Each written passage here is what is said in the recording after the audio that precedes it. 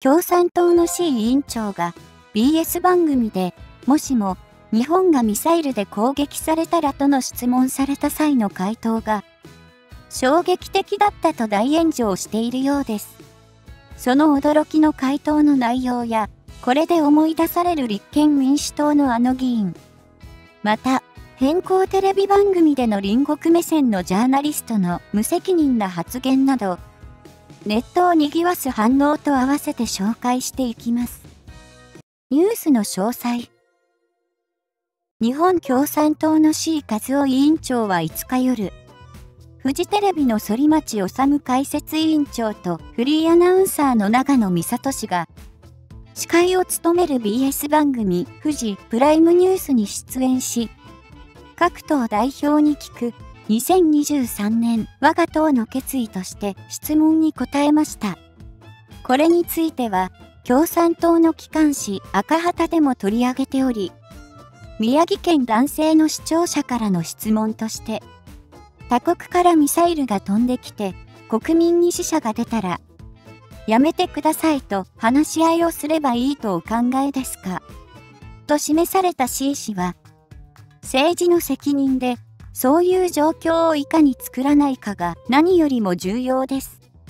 仮に日本に対して主権侵害が起こればあらゆる手段で主権を守るというのが私たちの確固たる立場ですけども、いかに戦争を起こさないかが政治の役割ですと強調したと伝えました。C 委員長も自身のツイッターを更新し、BS 番組でもしも日本がミサイルで攻撃されたらどうするかとの質問にそういう事態を起こさないことこそ政治の責任とお答えした。戦争の準備をすれば戦争の確率は高まる。平和を望むなら平和の準備をすべき。という加藤修一さんの言葉を思い出す。ここにこそ真実があると思う。と綴っていました。しかしながら、このツイートには答えになっていないのでは？ちょっと何言ってるかわからない。バカだね。実にバカだね。といった批判的な返信で溢れていました。ニュースを深掘り。というわけで、C 委員長がテレビ番組でもしも日本がミサイルで攻撃されたらどうするかとの質問をされ、衝撃的な回答をしていたということでしたね。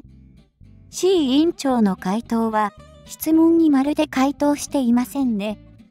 もしも火事になったらどうする？という質問に火事にならないように火の用心が大切と答えているようなもので、まるで内容のない発言ですね。過去に立憲民主党の辻元清美議員も国防に関して中国がミサイル撃ってきたらどうするんですか？と質問された際、いつ撃たれますか？と言い残して逃亡した映像が拡散されていましたね。これにも多くの反応が寄せられ、この質問に対して質問で答えるというやり方は全く答えになっておらず、極めて不誠実かつ卑怯な手法。おそらく納得できる現実的な回答を持ち合わせていないのだろう。政治は現実であり、現実的な回答を持たない政治家は有害無益である。といった意見や、危機を想定できない人は危機管理ができません。したがって、国会議員としては不適格そして、いつ撃たれるか？わかれば誰も苦労しない。いつ撃たれても対処できるようにしておくのが備えであり守りです。などの返信が寄せられていましたが、まさに、今回の C 委員長の回答も日本語が通じていないような回答であり、さらに、危機管理が全くできておらず、国民を危険にさらす人物として国会議員として不適切ですね。日本政府も外交を否定しているのではなく、国家安全保障戦略でも優先する戦略的アプローチは外交を最優先に明記しています。しかしながら、外交を頑張っても守るための備えは必要です。事実、これまでも北朝鮮や中国のミサイルはすでに何度も日本の近海や上空を越えて撃ち込まれており、昨年8月には中国の軍事演習で5発の弾道ミサイルが日本の排他的経済水域に撃ち込まれています。そういう事態を起こさないことこそ政治の責任というのであれば、この責任を果たすためにどのようにするのか、具体的な考えを述べるべきではないでしょうか。どうも、この界隈の方は、日本の防衛力強化を維持でも阻止したいのでしょう。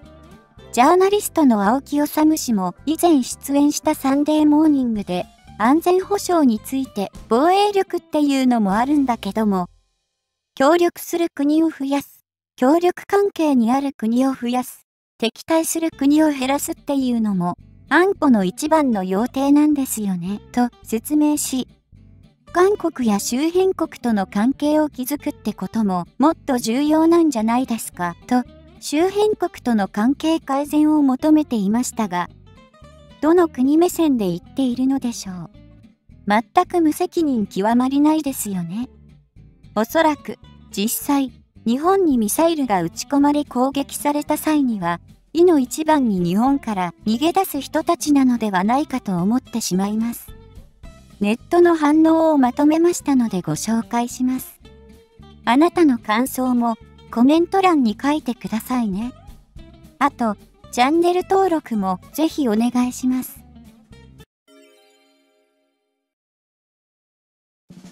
だから、ミサイル攻撃されたらどうするの？って聞いてるのですよ。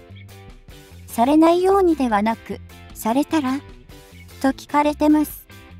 ちゃんと答えてください。もしも交通事故を起こしたらどうするか？事故を起こさないように安全運転する。前提はそうですが、相手から追突してきたり、煽りを受けた場合もあるので、みんな保険加入やエアバッグ、ドライブレコーダーをつけてますよね。相手、国がいることを忘れちゃダメ。質問の答えになってませんね。いつだったか、中国からミサイルが飛んできたらどうしますか？という質問に対し、いつ飛んできますか？と言って逃げた立憲共産党の某議員と重なります。原発の全電源喪失時の想定と同じことを言われている気がします。ミサイルが飛んでこないようにするのは政治家として当たり前だが、万策尽きて実際にそうなった場合に、そんなことが起こるとは思わなかったという話をされても困るので、最悪の想定をしておくべきです。日本の周辺国は準備してますけど、日本だけが丸裸でいたら戦争は起こらないんですか？白旗上げて侵略されたら戦争にはならないね。それがあなたのご意見ですか？防衛力を上げるのは平和の準備ですよ。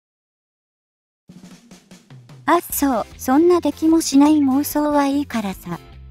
今、共産党と強いつながりを持つ団体がいろいろ疑惑が出てるんだけどなんかないの？もうすでに偽りの平和なんだが領海侵犯、不法占拠されている上の平和って何でしょうかね？本来なら攻撃してもおかしくない状況のはずなのに。そういうことをおっしゃるのは、チャイナやノースの指導者から今後、周辺国を恐喝するような軍事行動はやりません。侵略の意図も一切ありません。原油軍備は撤廃します。C 様にお誓い申し上げます。という現地を取ってきてからにしてくれないかな。そんなのは政府の仕事とか言って逃げないでね。違うと思いますね。すぐにそうやって短絡的に言われるが、無抵抗主義は武器にあらずです。白旗を上げて相手に近づいて攻撃されない根拠を述べてください。答えになっていない。やはり共産主義は宗教ですね。考えたくないものは考えない。目を向けない。政治家を辞めて宗教家にでもなることをお勧めします。そういうのマジでいいから、君らの若手がコラボの用語を始めた理由をお答えしてよわら。それなら、日本が万が一攻撃されたら、共産党が体を張って守ってくれるんですね。されたらどうするか？の議論にいつものように答えられてないこと理解できてます富国強兵一択ですよ。ウクライナは明日の日本だと思ってます。ほれほれ、近平とプーチンと北のデブに行ってこいよ。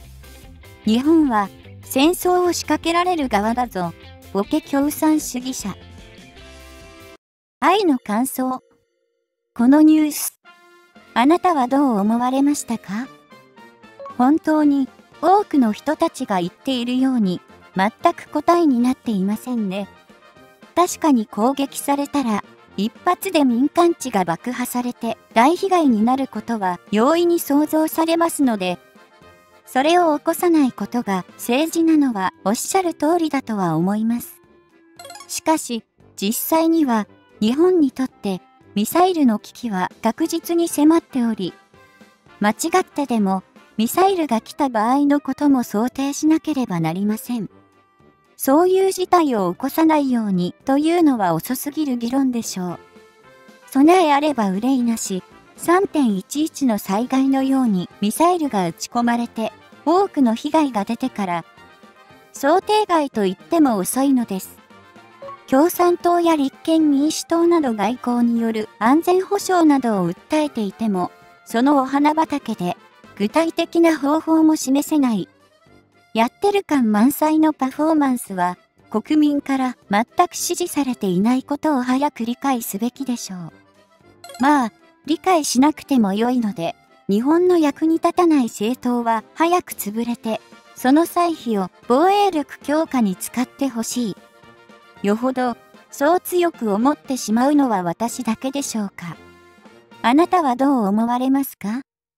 あなたの感想、コメント欄にお待ちしております。政治の味方チャンネル、キャスターの愛です。ご視聴ありがとうございます。